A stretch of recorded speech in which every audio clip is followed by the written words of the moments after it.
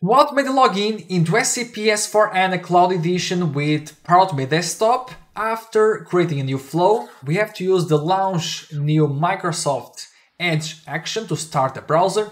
And if you prefer, you can use other one. So let's drag the action. And so launch mode will be launch new instance to start a new browser instance. Then here, initial URL, let's pass the URL of our instance of SAP S4HANA.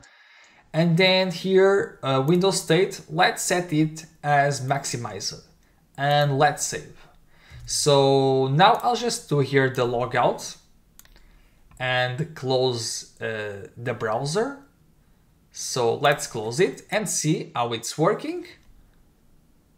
So here we can see that was opened here the login uh, screen, let's say. So now we have to fill here our account email and then click on continue to then insert the password and do the login.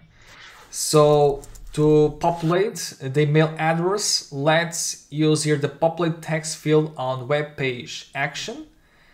And here, uh, first we need to add the UI element related to the input field for the email. So here we have started recorder. So now to indicate, let's press Control and left click. And here, let's indicate our account email. Then uh, we need click here on these buttons. So to click on it, let's use the press action. So the press button on web page to click on the button. So here we just need to map another UI element. So indicate the one related to the button. Click on save. And let's see how it's working for now. So I'll just close the browser and run again. So we can see it's working and now appears here uh, the page where we have to fill the password and then click on the sign in button.